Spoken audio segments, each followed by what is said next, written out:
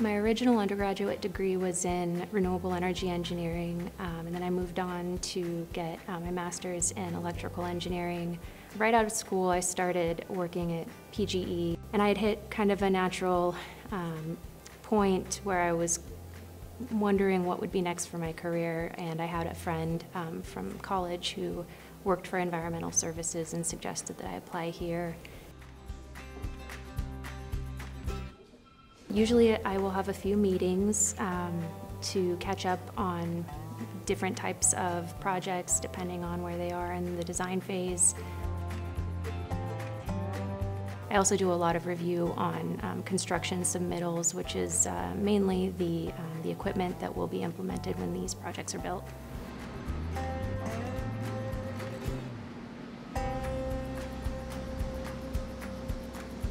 I really like my work, but I would say probably my coworkers. Um, the people here are just, they're amazing. They're better than I could have hoped.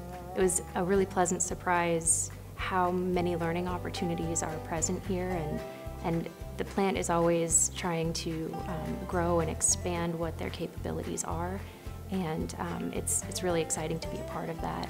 Environmental services goes to a lot of effort to ensure that employees are happy and that the workload isn't overly burdensome.